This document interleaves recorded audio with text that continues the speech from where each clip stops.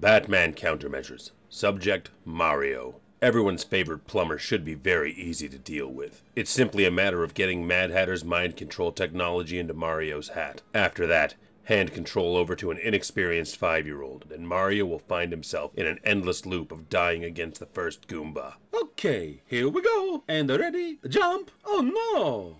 Jump. Jump. Jump. Jump. Oh no. Who's doing this? Mario, it's a me, Batman.